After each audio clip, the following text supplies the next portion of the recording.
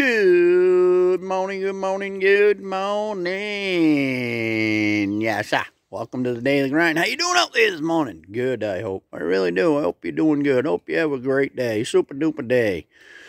Hope you just, it's just one of them days, man. You just love it. Let's get to it.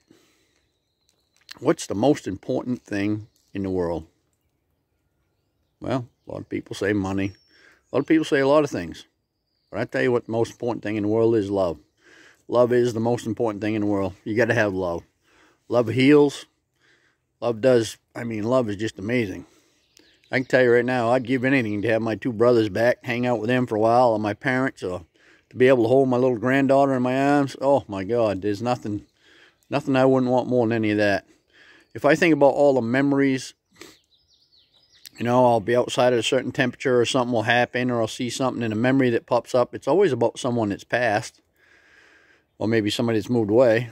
It's never about things or money. It's always about people. My memories are always about people that I miss, that I love. So to me, that, that says there's some significance there. And think about it.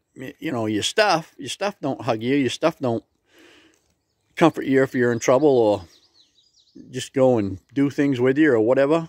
It's just stuff. It just sets you, it rots, breaks, whatever. People. People are the ones, man. Like I said, all my memories, I got memories of, lots of memories of doing things with my brothers. Um, just some, some great times. I never think of stuff. I don't have any memories of stuff. I just don't. You know, it's the people. Love is where it's at. If if you don't have it, get some, you know. If you want more of it, put more of it out there. Give more and you'll get more. If you got people in your life that love you, pay attention. Pay attention. Spend time with them. Make those memories. Uh, enjoy the time you have. Don't take it for granted. If you got somebody in your life that, that, you know, if you got people in your life that love you and you love them, don't take them for granted. Because one day, they may be gone. And then uh, you can't spend any more time with them. And once they're gone, they're gone. Now, I talk to the people that passed, but they're on the other side, so the conversation's a little different.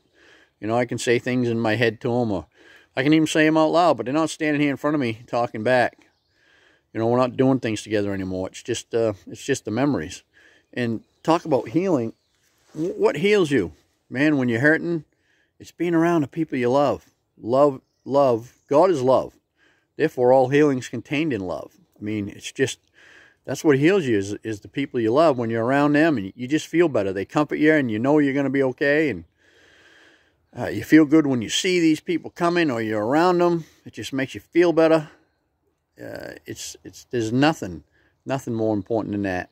So don't, don't take that for granted. Uh, nurture those relationships. You know, and if there's a bunch of people you're hanging around that really they don't care about you that much and they're not doing anything, get the hell away from them. Go hang out with the people that, that you really care about, that you love. That's that's where it's important. Those are the important people. Those are the people that are going to be be there for you no matter what. Up, down, or in between. Those people will be there for you. There's nothing like it. Uh, the hardest times of my life, if I think about it, what got me through that? The people that love me. The people that I love. They were the ones that were around wasn't my stuff hugging me. It was it was the people. So again, I'm going to say it again. The most important thing in the world is love. If you don't get none, then get out there and start cultivating it. Um, now, maybe you didn't have a lot of it when you were growing up. Some of us didn't, you know.